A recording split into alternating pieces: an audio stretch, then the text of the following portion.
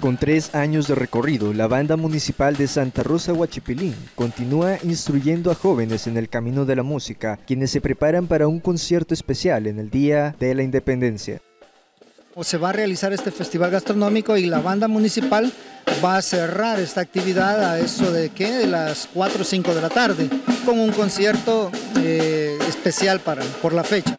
Integrada por 27 jóvenes, la banda municipal de Santa Rosa Huachipilín ha recibido gran aceptación por parte de la población, dando como resultado la participación en distintos festivales musicales. Y la aceptación ha sido grande.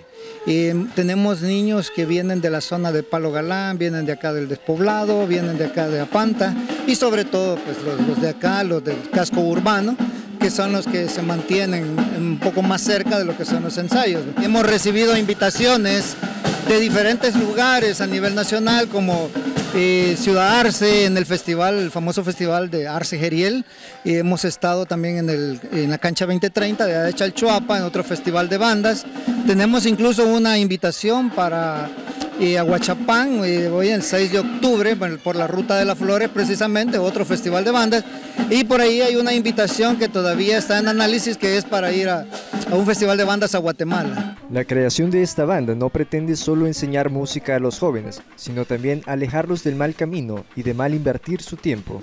Principalmente una de las ideas del señor alcalde pues es alejar a la juventud, a los niños pues de, del peligro, de tantas cosas que en la actualidad existen que les ayudan pues a involucrarse en actividades delictivas y entonces en este caso de la banda es como un desahogo a tanta presión que, eh, que sus mismas hormonas van creando. ¿no? Entonces el niño viene, el joven viene a desarrollarse en una área donde puede descubrir muchas habilidades.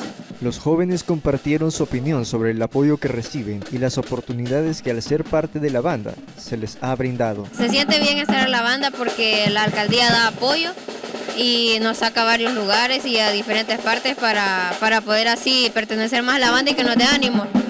Y sí, a las demás alcaldías nos atienden bien al llegar a diferentes lugares y se siente bien pertenecer porque no anda ahí vagando o haciendo otra cosa que tal vez no quede bien. Bonito invertir el tiempo en la música porque uno aprende mucho.